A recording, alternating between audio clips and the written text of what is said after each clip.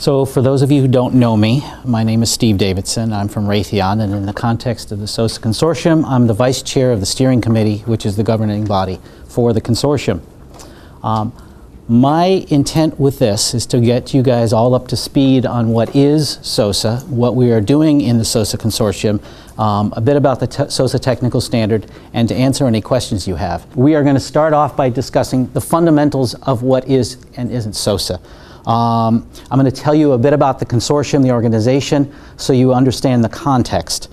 Um, I, I, those of you who were there this morning heard me comment about some of the foundational things that we had to agree on to begin this process. And I'm going to go over those um, in some detail because it's very important to have that solid foundation. Uh, we are going to talk about the tech, SOSA technical architecture, which is the centerpiece of the consortium. We're going to talk about the business approach, um, and then there are certain things that you have to know in order to be effective within the consortium having to do with very practical things, and we're going to go over those as well. So, any questions before we start? Good. All right, the fundamentals. Um, as you are probably aware, the National Defense Authorization Act of 2017 mandates that any programs undergoing milestone A or B beginning this past January must adhere to the modular open systems approach. Immediately after that went into effect, the secretaries of the Army, the Navy, and the Air Force produced this joint memorandum that says that MOSA, the Modular Open Systems Approach, uh, is a warfighting imperative.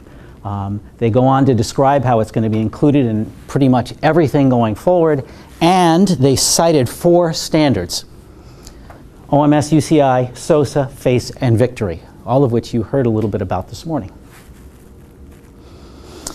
when people say modular open systems approach, notice it's approach, not architecture. It's MOSA is an approach. That's because it has a business aspect, which includes things like contracting language and intellectual property, um, acquisition processes, and so forth. And it has a technical side, which includes modularity and the use of open systems architectures. Now, there are a bunch of architectures that qualify as open system architecture.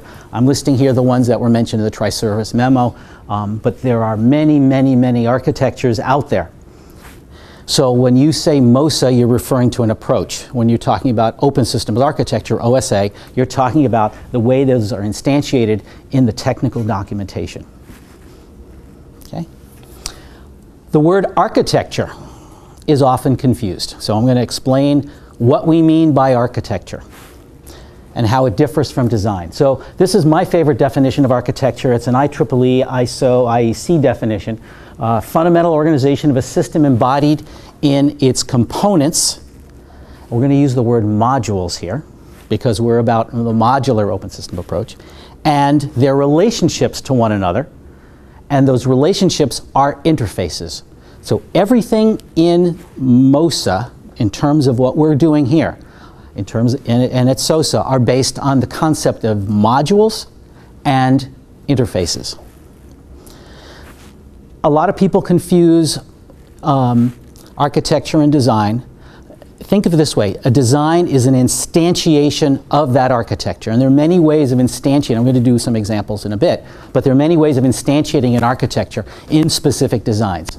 So when we talk about what we're doing in SOSA, we are developing a reference architecture that can be used to instantiate a whole wide variety of systems. And that is the whole point.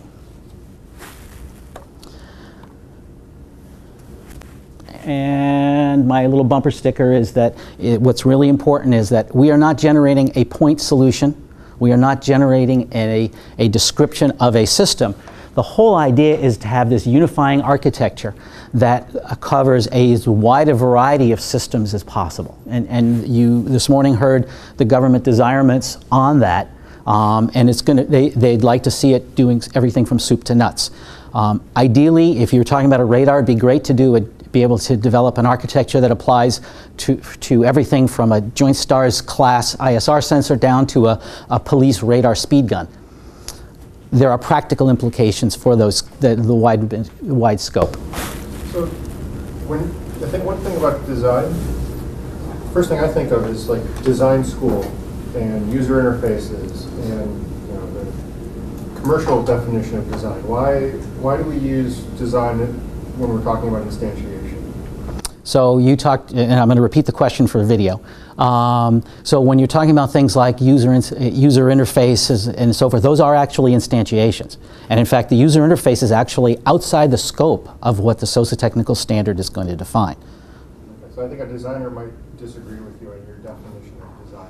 So as we go into architecting and, and architecture and what, what, what a reference architecture does for you, I'm, I'm going to give you some clear examples of the difference between architecture and design. Okay?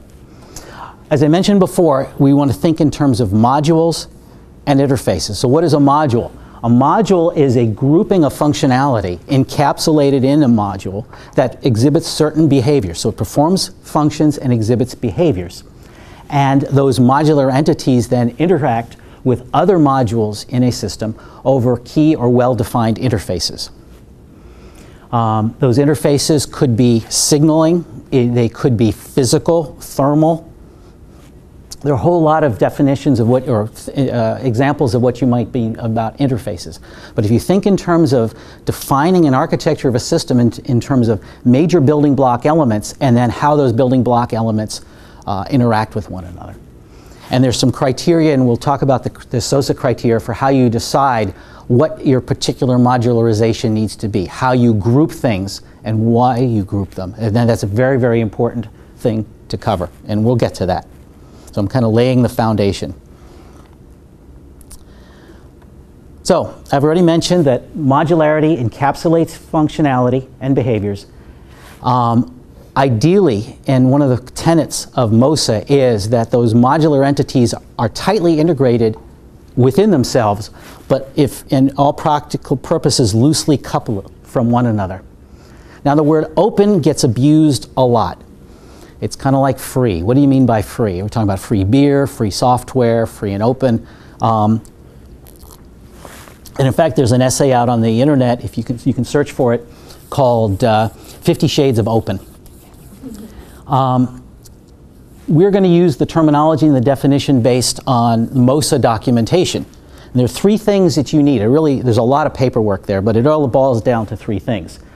That the definition of the architecture is uh, widely available and published. Great, but that's not enough. There needs to be a consensus based process for governance and definition so that their terminology, interested parties, have an opportunity to participate and influence the process. And that's, that's why we have this consortium.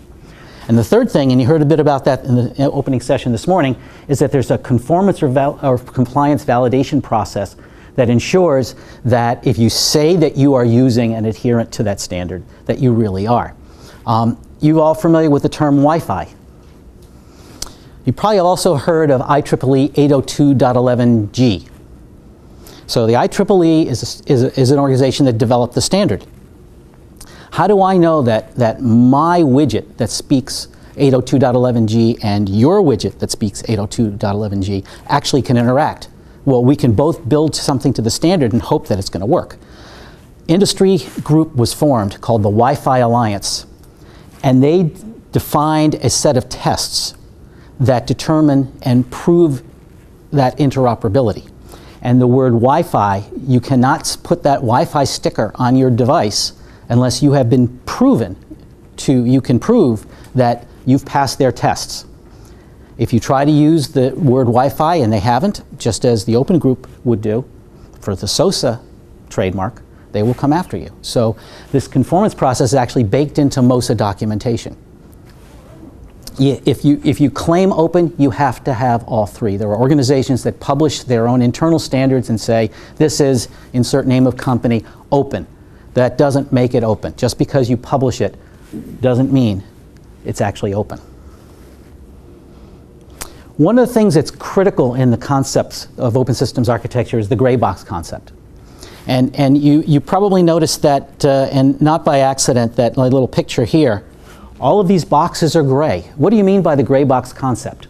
Gray box concept says that the standard defines what the functionality is and defines the interfaces, but it is absolutely silent on, on, on how you instantiate that process. So Inside the gray box, it's not a black box because I know what the functions are. It's not a white box, so I don't know what you did inside there, but I do know that you encapsulate these functions. So I'm going to give you an example, and we're also going to get into the design versus architecture. I have here, behind the podium, an invisible lamp. You guys can't see it, but it's really here. Now this lamp has three modules. I'm going to unscrew the top. There's a shade. I'm going to put the shade aside. We're not going to worry about the shade, but you know that I can buy another shade and replace it. It's beige. I'd rather have white. Cool. I have a base. It has a little wall plug that's dangling on the floor here, and I can plug that into the wall. That's one interface. And the other interface is a socket.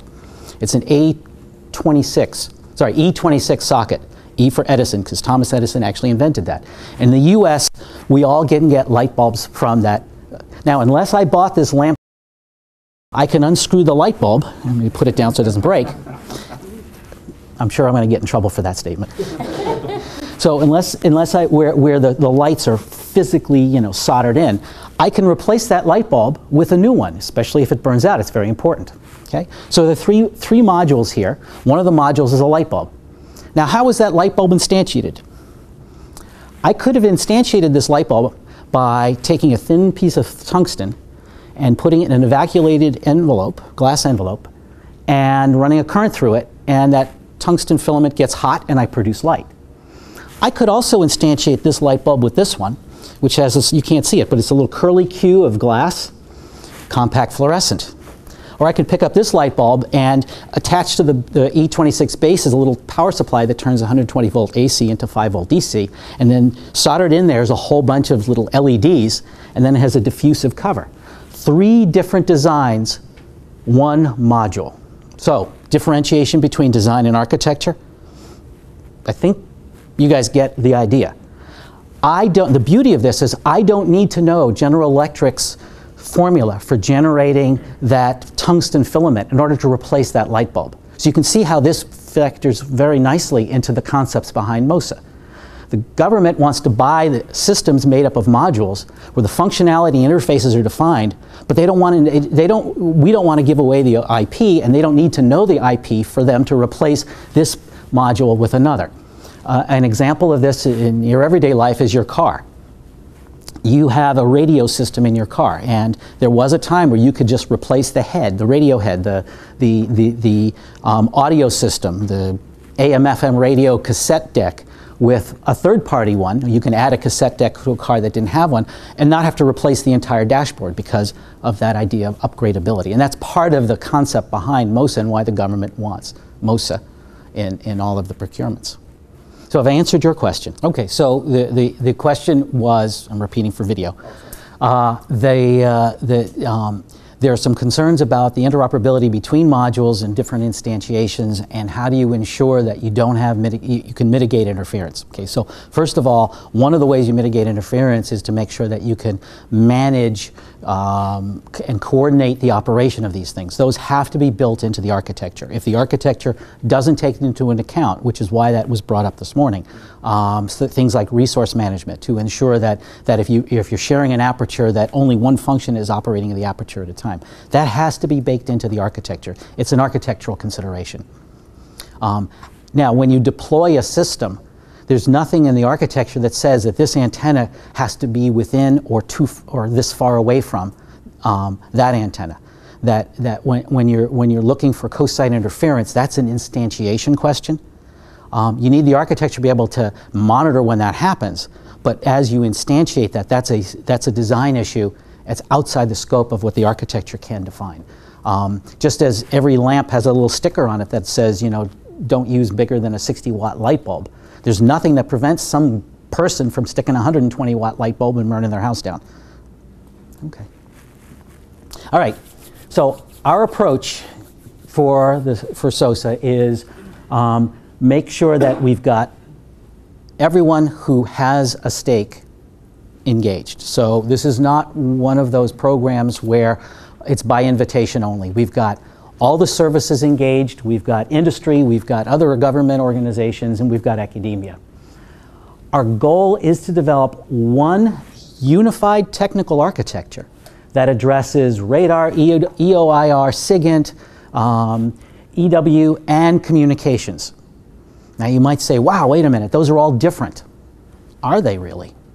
They all emit and receive structured energy.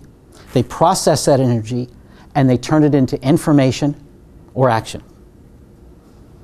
They might be somewhat different at the place where they're receiving photons. That is, EOIR is, is very short wave, radar, EW, SIGINT, communications is usually radio frequency. But once you've collected that energy and turned it into electrical signal, there's a huge amount in common between those. And that's what we're doing, we're leveraging that commonality. Um, the why is, you heard that this morning, um, better acquisition, better upgrade. Um, I know my organization is very interested in that because we want to build products around standards so that we don't have to invent because it's more expensive to invent than it is to reuse. Um, and we're doing that through this modular open systems architecture uh, that is SOSA um, by defining these functional aggregations as modules and defining those interfaces between them.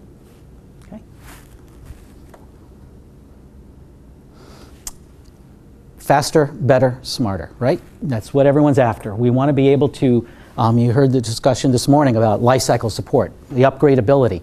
Um, you, you, heard, uh, you know, it's cost effective. It's cost effective on both sides. National Defense Strategy mandates a change in how we acquire systems. The government acquires systems and how we, we develop systems in response. Um, and interoperability. Uh, the idea that, that you can build something that um, is useful across multiple things in terms of portability and because you want to build things that can work with other things, that they're not isolated standalone. I love it when I see charts like this. This is our architecture, a lot of people put up.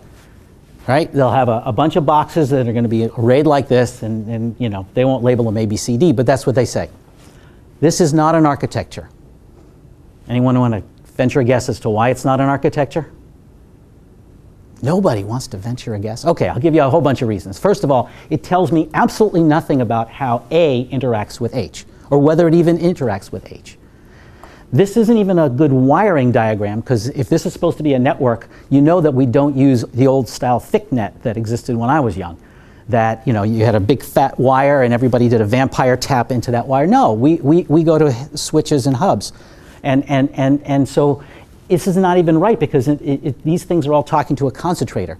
This is not an architecture. This doesn't tell you anything about how the system functions. You cannot build a system based on this. So oh, what do you do? Well, our approach is to use DODAF. Raise your hand if you break out into a cold sweat when you hear DODAF. A lot of people do that. Okay. It's not so scary. The Department of Defense architecture framework is simply a decomposition of the description of a system in terms of aspects. When you have an architecture for a house, you have a plan view. The carpenter will use that to, to do the outside part. You'll have a, plumb, a, a, a plumbing view, which tells the, the, uh, the plumber where the pipes go. You'll have an electrical view. And then the architecture of the house is the combination of all of those. You can build a house based on those. That's what DODAF does. It divides the system up into different ways of looking at it. Some of them are physical, like the systems viewpoint, and we're going to talk about the SV1 for SOSA. Some of them are, are functional, like the services viewpoint, we'll talk about that. Um, some of them have to do with things like the capability. We're going to talk about that first. What, what are the capabilities? And some of the material that you heard this morning relates to things that we have built into the capability view for SOSA. So all DODAF does is allows you to take the system, a, a complete picture of the system, and look at it from different perspectives. Okay. So let's talk about the capability view number one, or CV1 for SOSA. The CV1 is, was essential when we started this because we had people from all sorts of organizations with all sorts of perspectives, all coming in with a completely different view of what SOSA was going to be. And we needed, if we're going to make any progress at all, we absolutely needed to have a unified view of what is SOSA and what we're doing. So, uh, you probably already read the vision at the top. Uh, it's business practices and, and, and technical environment that engages. We've developed cost-effective system that can be reconfigured, and you heard some of that this morning uh, in, the, in the plenary session.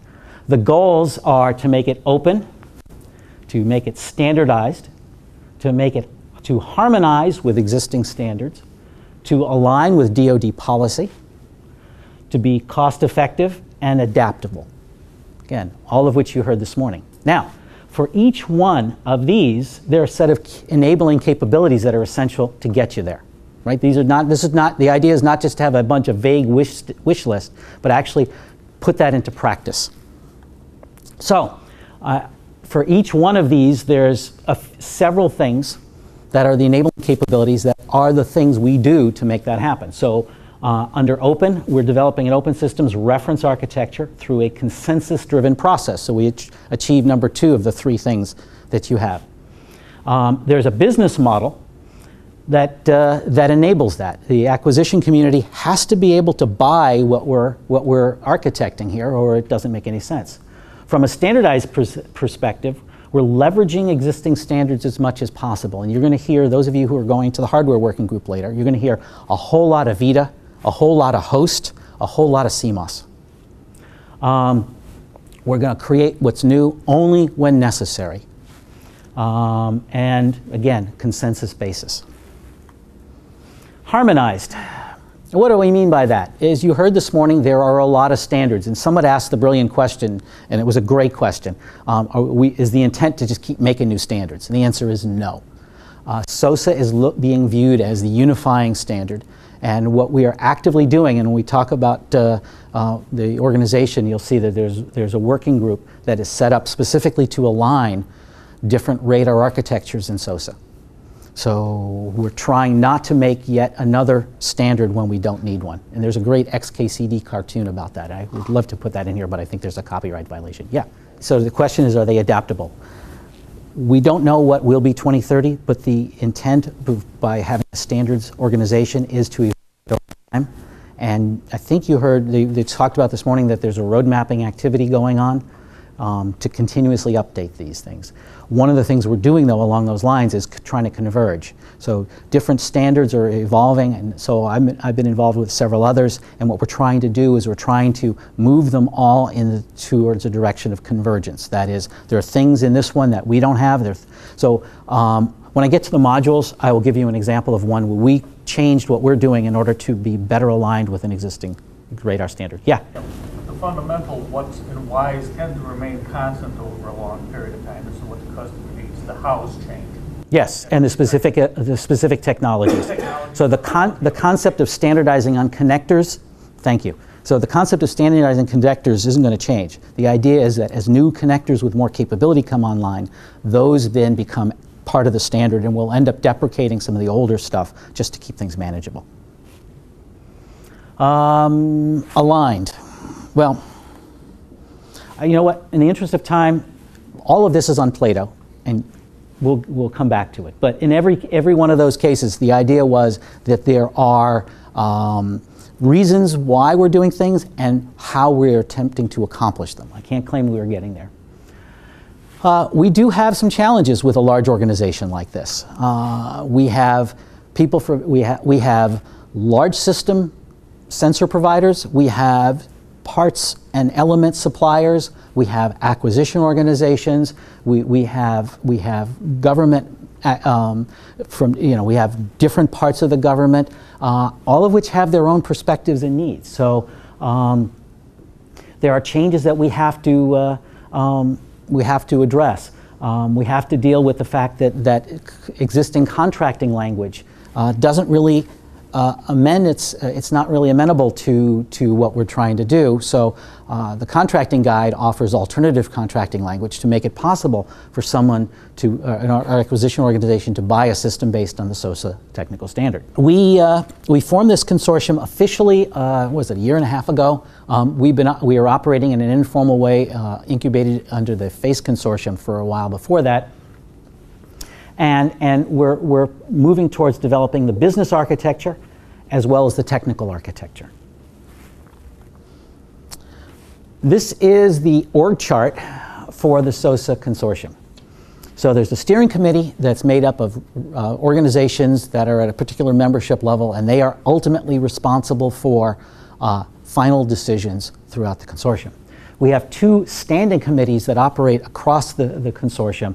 The use case standing committee is developing and, and, and officializing the use cases that we are using to test whether we're accomplishing things in the architecture that we intend to.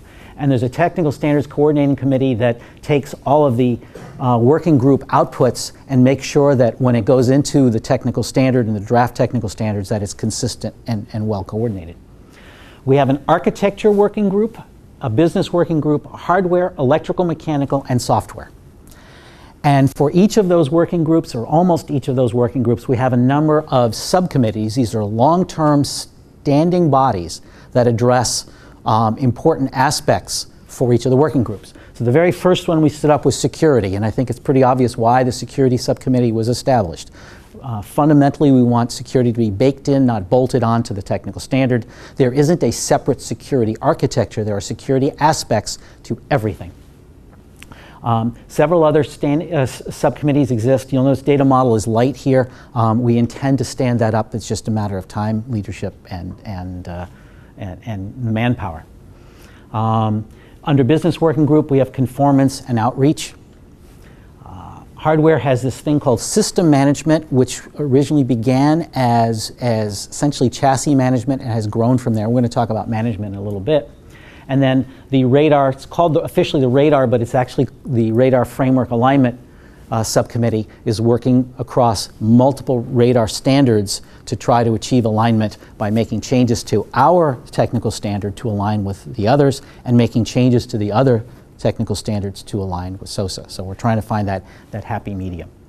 Uh, our makeup is industry, a lot of defense and as well as, as, well as commercial.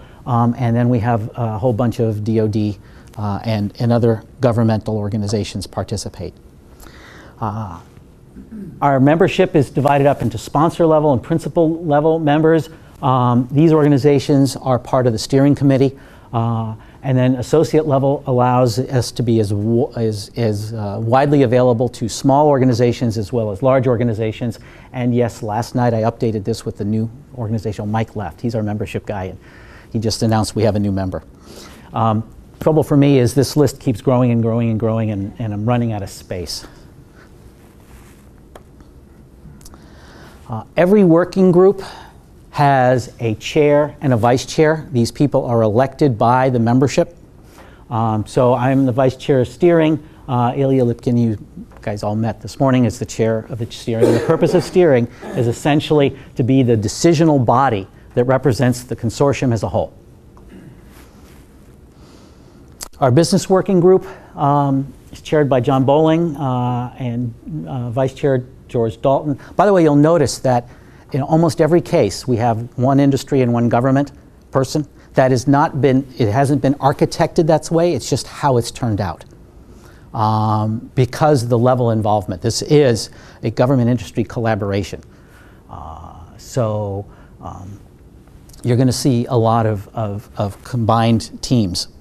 Um, the architecture working group um, is kind of the inter technical integrating element that pulls together all of the parts of the SOSA technical architecture. Again, government and industry working together.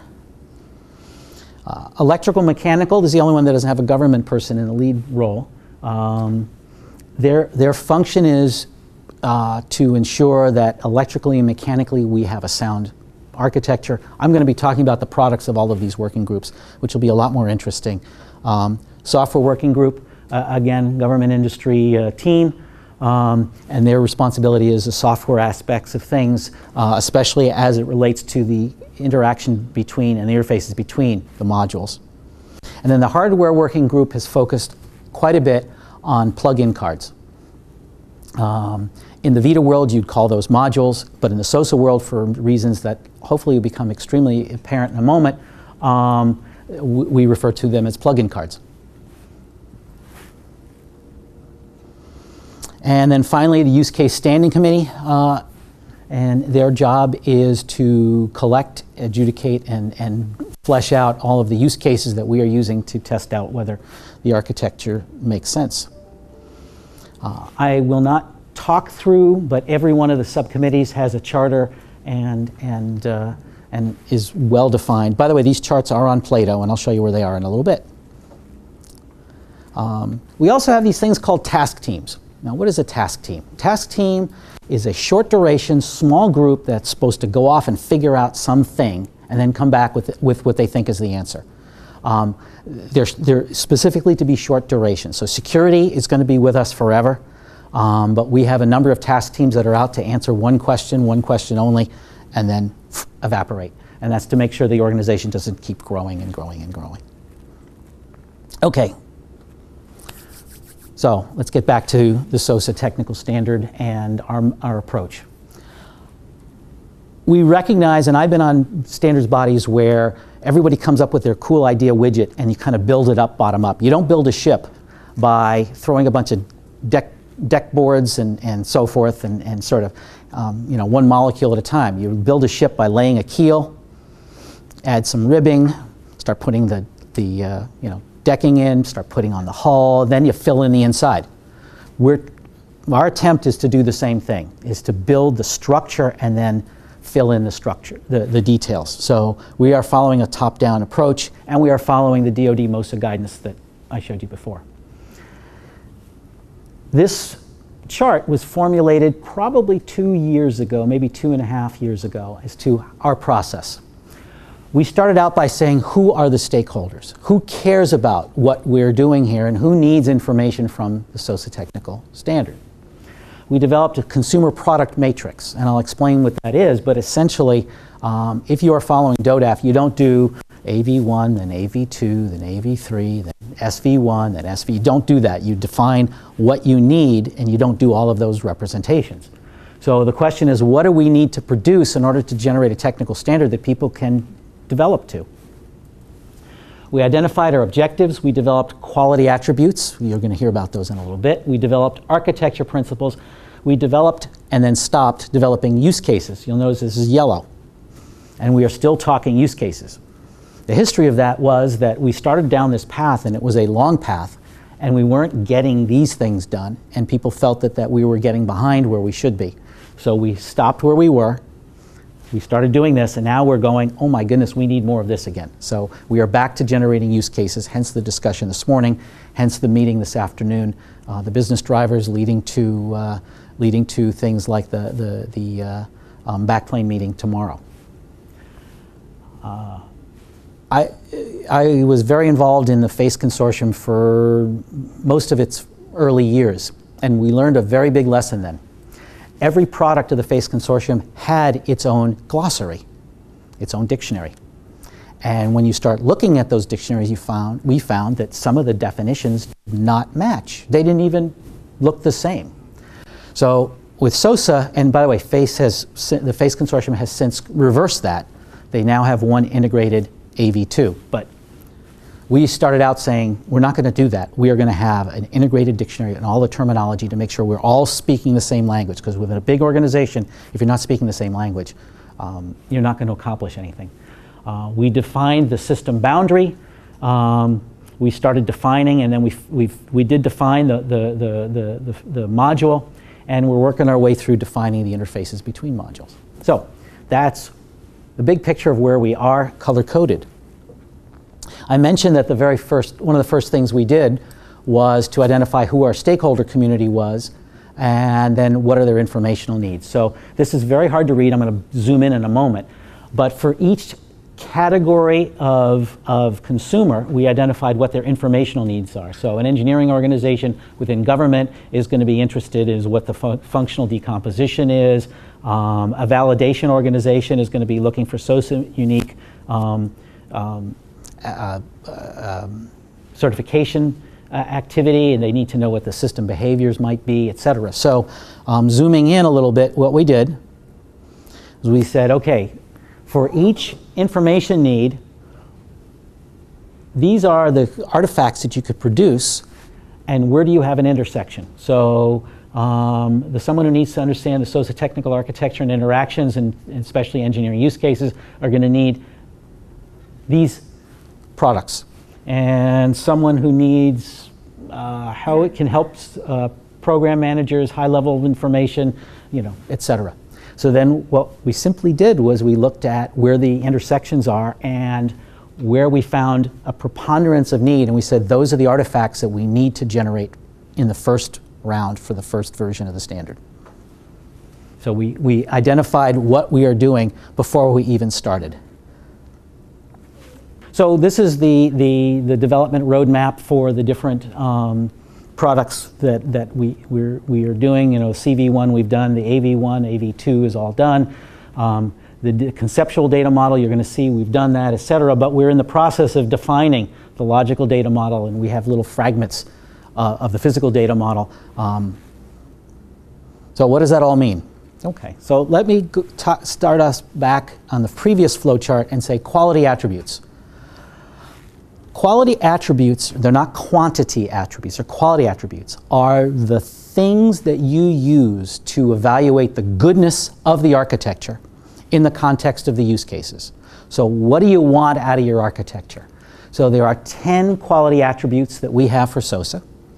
Um, and by the way, quality attributes are also rank ordered. So, interoperability trumps portability. You say, well, why is that? Well, the result was the result of a lot of deliberation and a consensus. You can't have it all. You have to sometimes make trades. Now, if it's on the quality attributes list, it's still part of the evaluation. I'm not saying that the, the one at the top always wins. In fact, it, you tend to be banded. So, our quality attributes are interoperability, securability, modularity, compatibility, portability to be continued. And for each of the quality attribute, and you probably can't read it from the back of the room, but it says, what do you mean by capability or compatibility? And then there's a statement of, in the context of the SOSA architecture, this quality attribute, in this case, refers to the ability of SOSA systems to be used with or integrated with systems not designed to align to the SOSA reference architecture or with systems designed with earlier versions of the SOSA standard. So we have backward compatibility. So what do you mean by it and what are the implications for the architecture? And all of our decisions are couched in those, in, in those terms. So if somebody comes up with a great idea, it's evaluated against this and some of the other foundational cr- criteria. The other ones are plug and, pay, plug and playability, upgradability, scalability in two contexts sensor multiplicity and host size. Because when you say scalability, what do you mean? And we had two different interpretations. And then resiliency. And what do you mean by that? Uh, uh, refer to you build SOSA system to be able to maintain operations while under duress caused by physical damage, electronic interference, or cybersecurity attack. So those are all of the quality attributes that we baked in. Uh, another foundational concept are architecture principles. And architecture principles are guidelines to the people working the architecture. So we've got, it's not like you have one architect, you're all architects. As far as the consortium is concerned, you're all architects. So the, the uh, architecture principles address some things are business related, some things are technical. You know, so, so you know, every SOSA hardware element has defined physical interfaces. Uh, modularity is fundamental, interchangeability is fundamental. Each of these is described. There's actually a lot more information to it. Um, what is the rationale and what are the implications? And, and I am not going to read this to you. Uh, please read this on your own, but what it is, the statement of what you mean, what is the rationale, and what are the implications for the SOSA technical standard. If you integrate all that information up, you will, you will essentially have the stuff that Jason was talking about this morning.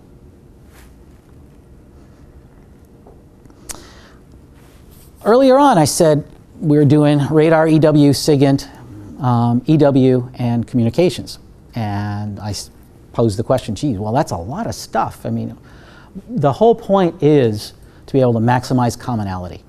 The back end, and I don't like that term, but the back end of, a, of an EW system or the back end of a SIGINT system is doing pretty much the same thing as the back end of a radar.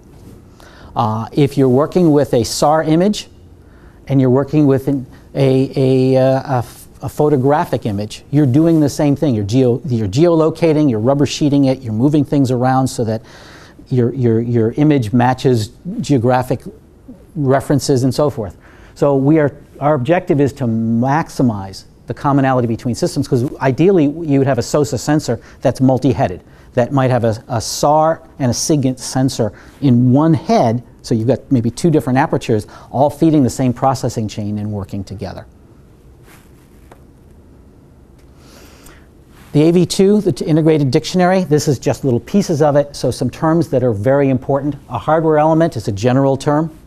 A plug-in card is essentially something that slots into a backplane. A SOSA plug-in card is not just any old one, but one that actually conforms to the SOSA slot profile.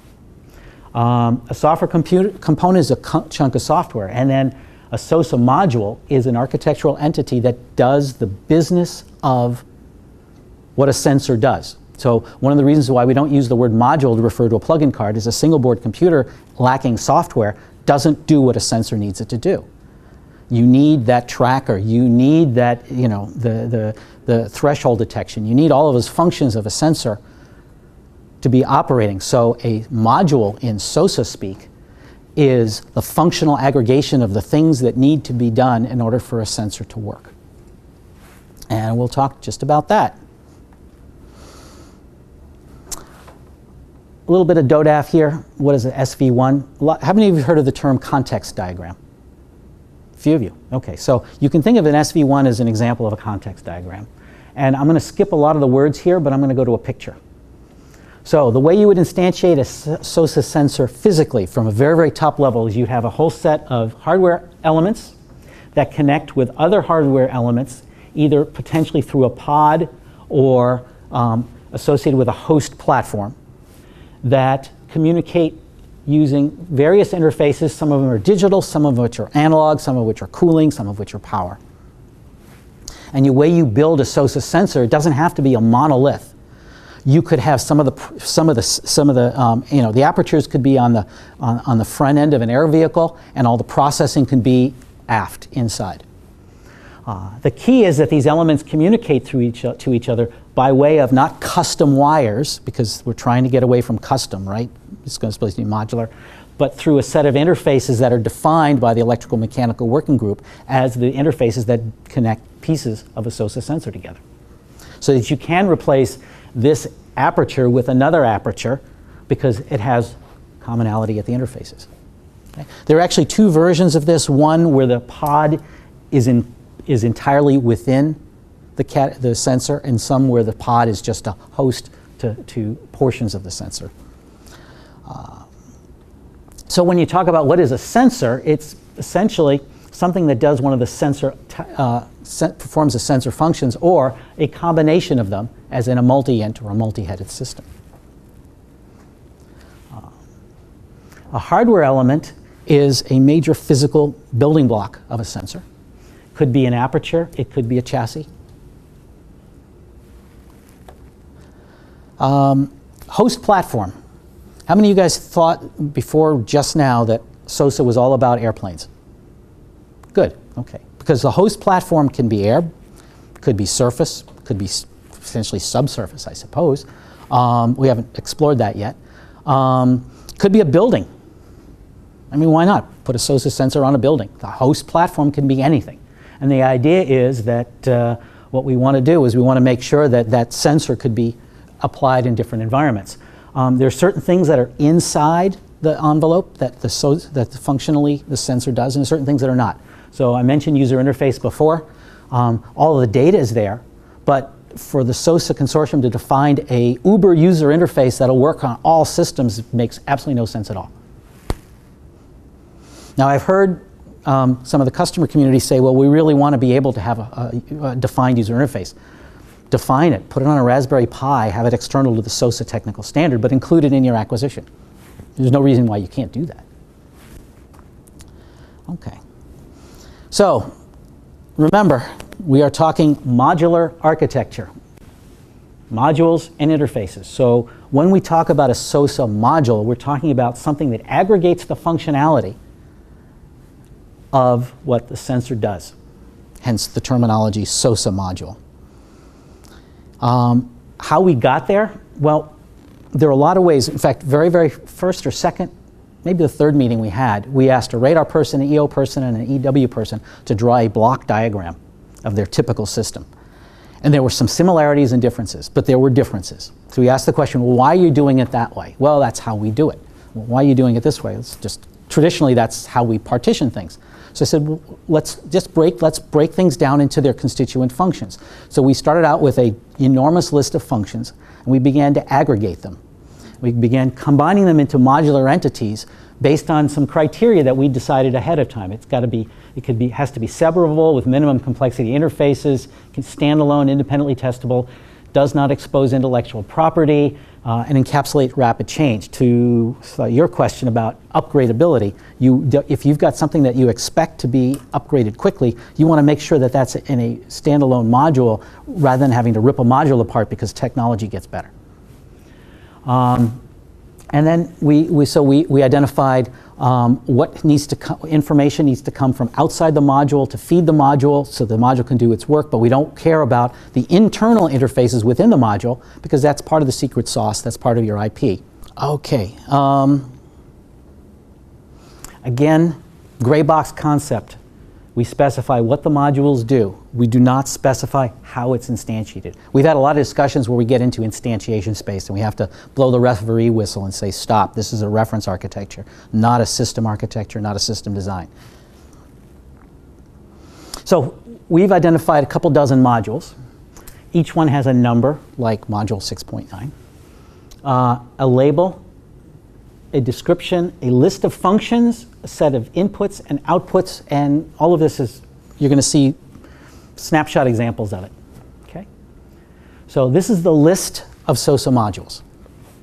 And we've grouped them by category. So these are all, by the way, none of these, I shouldn't say none of these, we are not setting things up so that you have to have all of the modules. This is a superset architecture. So for example, if you've got an EOIR sensor that only needs to send images to the ground, you don't need things like situational assessment and storage retrieval and impact assessment. Those are important for certain types of sensors like EW, but you're not going to necessarily instantiate that in a simple EOIR sensor.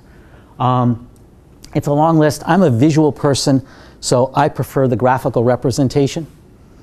Um, and I'm going to walk you through this. So we have two management modules. One is called the System Manager. It's an unfortunate name. It really fo focuses on things like health and status, um, housekeeping functions within the sensor. The other one is the Task Manager, and we'll talk a little bit more about that, but the Task Manager is the thing that communicates with the outside world and receives the look over there at that object or update a track. So the Task Manager worries about the sensor operation as a sensor, the, task, the system manager focuses on making sure all the pieces are working, that, you know, everything's lubricated and, and, and has a voltage and so forth. Your question. So the question was how does software and hardware overlay? And the answer is so typically done, now you're into instantiation space. So we, one of the things we're working very hard to do is to make sure that if you want to implement something in software or he wants to implement it in firmware, that not, we're not locked into, oh, he can't do that because we said it's going to be in software. A lot of these functions, uh, these modules, can be instantiated solely in software, like the tracker. Some of these functions are implemented in some combination of hardware and software. What we're trying not to do is tell you how to do it. We're trying to tell you what it needs to do and what interfaces need to be exposed for the purposes of ensuring that you have a successful system design. Repeat the question for the, for the video. Um, what about interoperability and plug and playability? So a lot of efforts going on right now to figure out a way of, for example, abstracting things from firmware so that it could be implemented in firmware or software. And, and at, at build time you worry about it, but you don't have to, it's not a situation where the architecture locks you into one solution or not. So that's a hard problem, but that's also one of the reasons why we're still working on interfaces. Because we're trying. Say again? It's a, yeah, the, one of the architecture hard points is to not force a particular form of instantiation. Transmission and reception, we've separated receiver and transmit so that you can have, for example, radar warning receivers and you don't have to carry the baggage of transmit. Um, we have uh, uh, a group of modules that deal with processing and signals, so uh, image pre-processing or object characterization, uh, and then tracking. This module used to be integrated with this module. The number is 3.4, you would think that would be numerically earlier than image preprocessing or whatever, and the answer is no.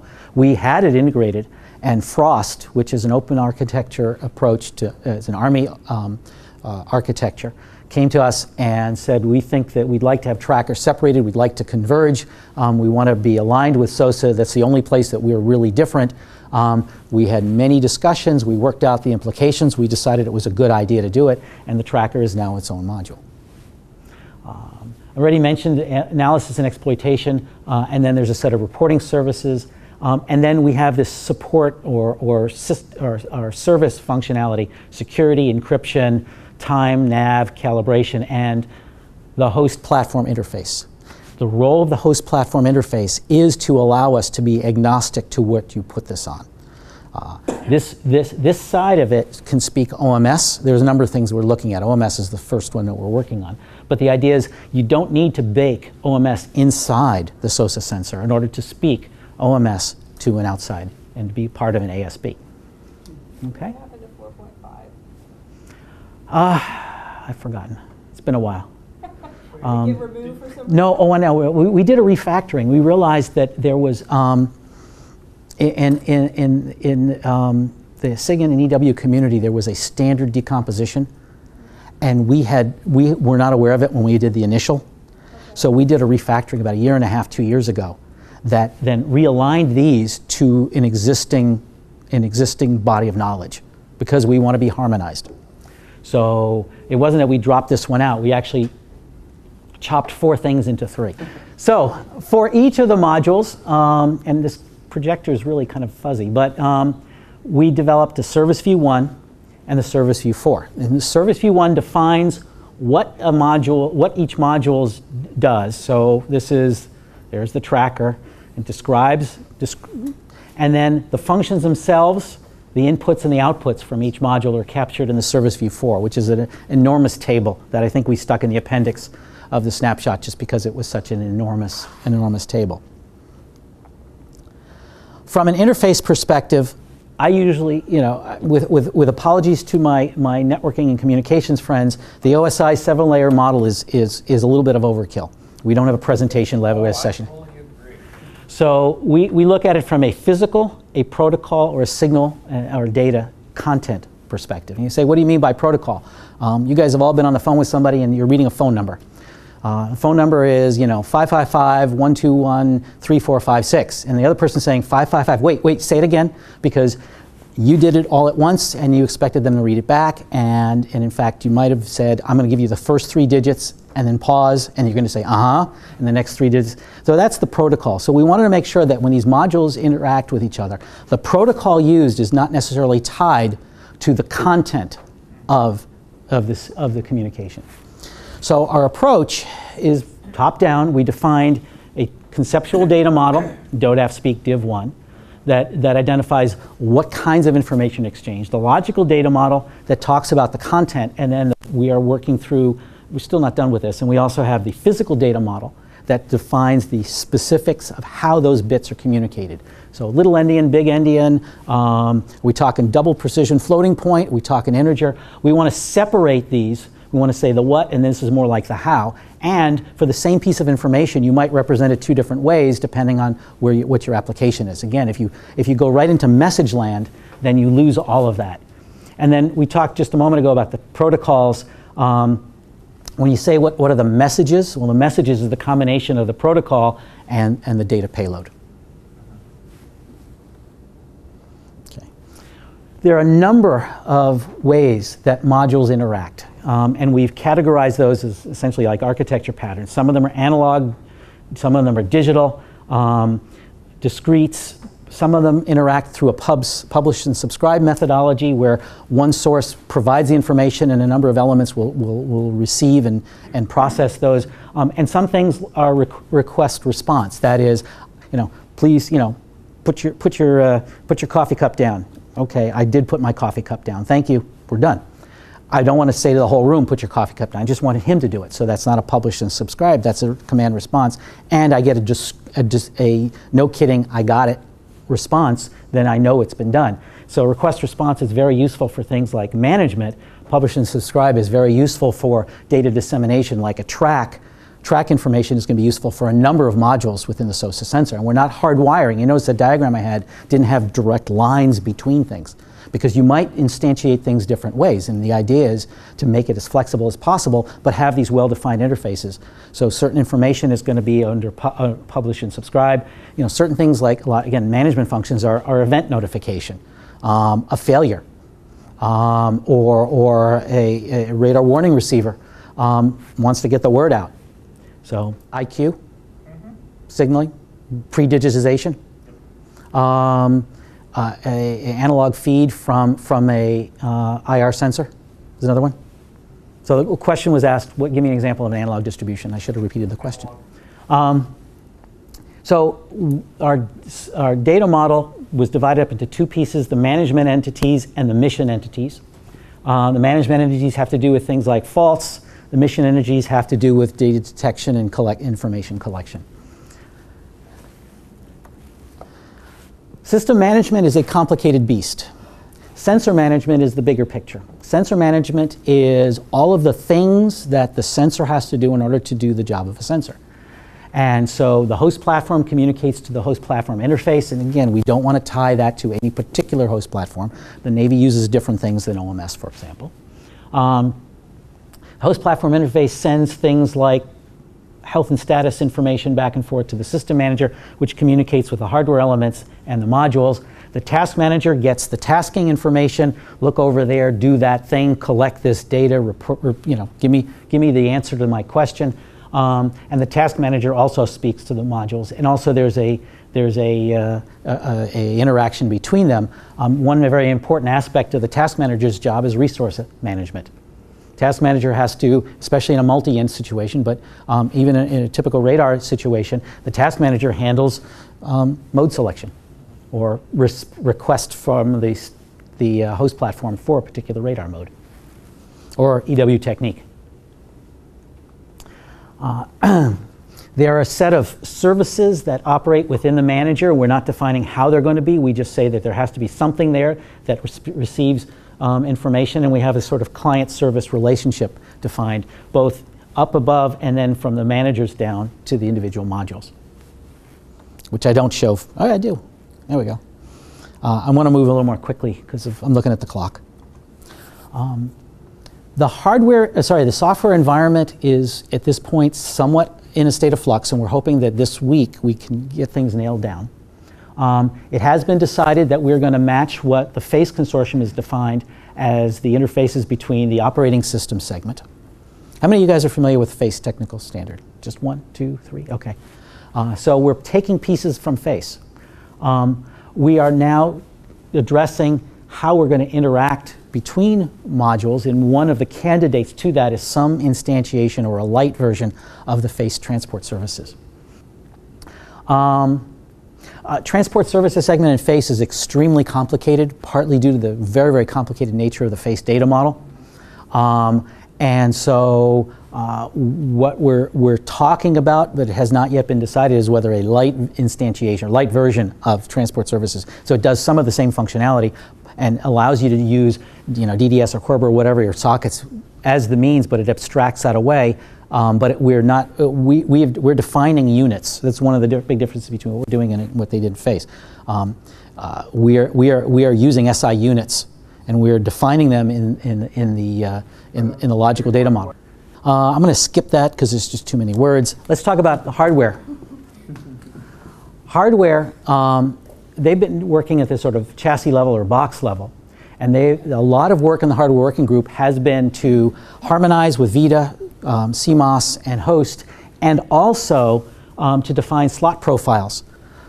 And you know what slot profiles effectively do is say this pin is going to be used for this purpose when it plugs into the backplane, and that is tremendously valuable the- with a standard like ours. Even though the module itself isn't defined by the single board computer, for example, customer wants to be able to upgrade to newer generations of single board computers. They want to be able to acquire one that they know is going to be a one for one replacement, maybe better, faster, smarter, but, but speaks the same way to the backplane as the old one.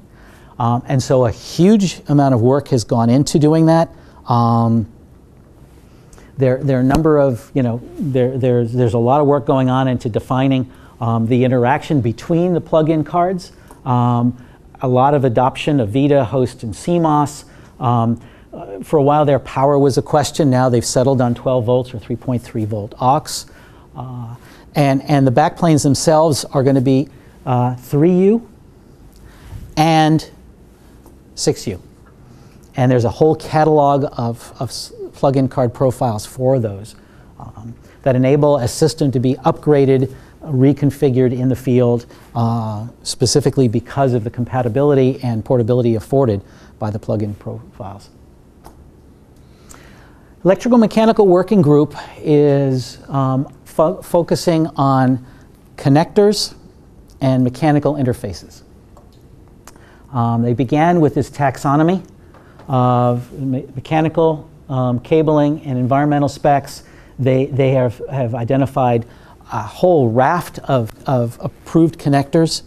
Um, they started out using the SPIES standard. SPIES is a Navy standard for turreted EOIR sensors and have expanded on that to include all of the features you would need regardless of the sensor type, um, added connectors, sped things up with high speed Ethernet and so forth. And, uh, and, and, and this is outside my field of expertise, but essentially every connector, what it's for, what it would, how it would be used to standardize the mechanical and electrical aspects of things so that you can build up a SOSA sensor so that you can have an aperture out front and processing in back and the connection between them being standardized in such a way that you can replace that sensor, the, the, the sensor head in front with a different one and still have the compatibility with everything that's interior and aft. All of this gets rolled together in the SOSA technical standard, and we have, um, as you heard, uh, Snapshot 2 has been published, Snapshot 3 pens down in just a few weeks. Um, the way it's structured is there's some overview material and what is actually the definition of the standard, the standard itself with requisite shalls, and then a set of appendices that have lots and lots of tabular information and, and all the details of the slot profiles and so forth. Um, and I strongly encourage you to read the front material in the technical standard. It'll, it'll amplify a lot of what we've talked about in here. I can't say that it's exciting reading, it's not, um, but it, it contains everything you need to know. Uh, a little bit about the business process. Uh, the business model for, for, for the FACE for faces, eh, sorry, for SOSA um, hasn't been uh, hasn't been completely worked out. Um, it is a work in progress, and the business working group needs help. So those of you who raised your hand earlier, please help. Um, one aspect of the business model is that if you are a if you're under contract to build something using the SOSA technical standard, you are expected to if you identify any flaws, gaps, is to report back to the consortium what you found. We want this to be a living, growing thing. We do not want this to be static. We want it to be able to keep up with technology.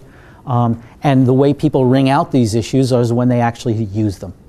We know it's not perfect. It's made by humans. Humans are not perfect. So uh, part of the business model is to advance it through, through the acquisition process. Um, and that just goes into a little more detail. Um, taking a page from the FACE verification process, um, uh, if you say my module, I, I, think this is SOSA, this is going to be conformant to SOSA, um, you need to be able to verify that yourself. You need to then take it to a verification authority who then does a run for the record. And if they actually do, then the certification authority then can put that you know Wi-Fi sticker on it, or in this case, the SOSA sticker on it. Um, and then that could be put in a registry optionally, um, so others know that you are selling a, a widget that has the uh, SOSA seal of approval. Um, you saw when you did your registration the little trifold. That's a little handout that describes what we're doing here. Um, we have an outreach organization that, that is helping to get the word out, um, although it seems to be getting out pretty much on its own at this point. Um, okay, so let's talk about how we actually operate in the consortium. Now, by now you've all onboarded. You probably all signed up to be part of a working group, subcommittee, or something. So a couple of things that I really want you to do. Um, if you have a video camera attached to your computer, please unplug it before you start it because WebEx really, really wants to put your picture up there and what you'll get is a black square and everyone will have to deal with a black square. So disconnect it because we're not doing pic cameras. Secondly, and I'm going to make, I wish I could just make this flash, log on to your computer first. You say, well, why would that matter? When you log into the computer, um, it tells you how to dial in. When you dial in and you put your, your, your participant ID number in there, it associates your phone number with your login. So, have you guys been in conferences where it's like, who's speaking? Whose voice is it? Well, you don't get that if you do it right. And that is, this computer, when you're talking, your name will appear. I don't know if we, this is, I don't think anyone was talking at the time, but you'll see sound waves, or there are different ways it represents depending on what mode you're in. Who's speaking? So, you never have to ask who's talking we get and we have to take attendance because we have to have a record of who participated. If you dial in before you log in, then you show up as call in user n, where n is some number between 1 and a 1,000 or something. And then they have to go, who's call in user 3? Somebody talk who didn't you know, do it right, and now we'll. You don't want to do that. You want to access it from your computer first. Um, so the, the beauty of the WebEx thing is um, when you're in the conference, you have a there's typically somebody who's presenting material. It's either uh, canned or live, and there's a chat that you can have to provide supplemental information. Uh, and that turns out to be very useful. Um, but the, the, beauty of this is it's full contact, it works very well. I will say though, if you're using the internal speakers on your computer and you're taking notes, please mute your speaker because what happens is your speaker, your microphone, especially on a laptop, is typically in the case. So you hear thum, thum, thum, thum, thum, thum, thum. And because you know who's talking, everybody knows you're the one who's typing. So you really want to mute. Okay. The other major tool we're using is this thing called Plato. How many of you guys have tried Plato? Okay. Uh, it's a web based system. I'm going to just walk you through a couple of the features. Um, over here on the left are the organizational entities listed. And if you select one of them, you will, the whole rest of the screen will be oriented towards that organizational entity. So member level stuff here uh, steering committee, architecture working group, electrical mechanical working group, etc. Okay? We're not seeing it right now, but you'll originally come up to the home screen. I'll show you the home screen on the next slide. The place you're going to do most of your sosifying, I know I can't use that term, but I had to slip that in there. You can bleep that out. Uh, is, is the Documents tab. Because, so this is a reverse chronological list of the documents in this area. Um, certain ones are, you see the little push pin there? Um, certain ones are bleeped out, uh, or sorry, bleeped out, are, are, pegged to the top. Um, the AV2, for example, is here. Okay? And so there are certain things like the AV2, you want to stay at the top of the list. You want it to be accessible all the time. So you, can, so you make it sticky. Um, so to look for something from a face-to-face -face from three years ago, um, you're going to have to scroll way, way down. I just want to emphasize that I took a while to figure this out. When you click on the left, that Documents tab on the right is a different Documents tab. Yeah. So every other link on the left is a home page for the same set of links yes. Across the top. Yes. This defines everything else. And so, and, and, and searches are unfortunately only within, um, within a particular view, which is a little unfortunate. This little plus guy here means that there's multiple versions of that. So this is the AV2. Every time we update it, we make sure that we keep the historical record of the past instantiations of the terminology. I already mentioned the, the, the, the thumbtack. Um, the home home page looks like this. So in other words, the, the, the first tab looks like this. Uh, and there are a couple of things that matter. One is there's a calendar, and each one of these little dots is actually a link to that particular meeting on that day.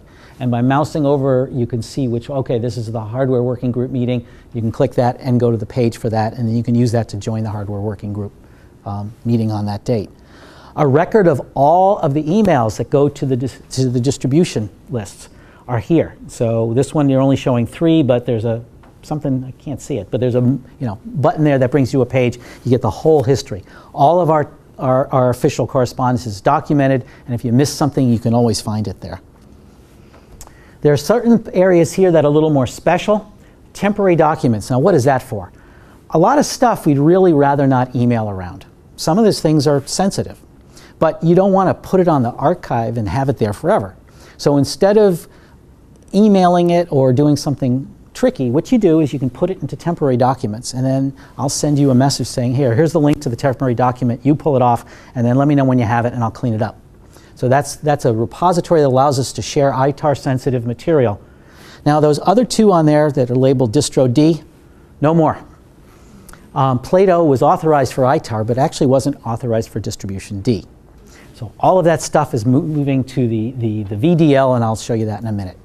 So um, I don't know the official date for when this is all going away, but everyone should be getting a VDL account, and I believe that's part of the onboarding material now. So question about that. Yeah. Um, I've had a VDL for a long time. I just requested, um, access to the SOSA Mm-hmm. there. How long does that take Probably a day, because what happens is that request gets sent to a whole bunch of people. Well, maybe I already have it then and I don't know. Um. I get those requests, but I've never actually done that stuff. I just got I got added to the privileged user list. I get those requests, but Ilya's the one who's been clicking the OK list.